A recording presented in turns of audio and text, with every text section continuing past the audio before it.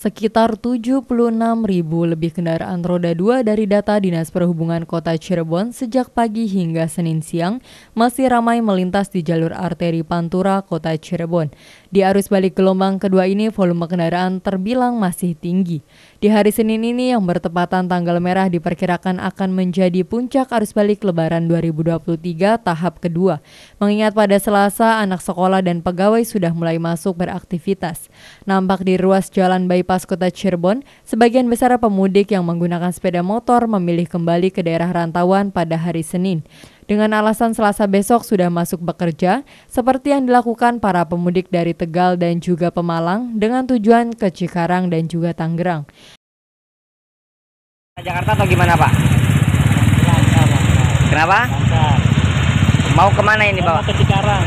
Dari? Dari Pemalang. Gimana perjalanannya? Pelan-pelan aja lah bawa anak yang penting nyampe gitu. Oke. Okay. Tapi nggak sempat macet Pak di jalan? Enggak, Kena, ya? Kenapa Pak? Bapak pulang hari Senin ini Pak? Kebetulan udah anaknya tuh udah pada masuk, kita kan jualan, jadi ngikutin anaknya aja. Oh, Bapak jualan? Iya, iya. Dari Tegal mau ke Tangerang. Kenapa pulang hari Senin ini Pak? Ya bang, besoknya kerja sih. Oh, baru mulai kerja besok? Ya, ya. Berapa lama di rumah liburan? Ya, dua minggu. Dua minggu? Ya. Puas nggak liburan sekarang? Alhamdulillah. Setelah kena corona ya? Iya. Sempat nggak pulang tahun-tahun kemarin? Uh, sempat, sempat, sempat. Terhalang di Jakarta? Iya. Oke, perjalanan lancar? Alhamdulillah lancar.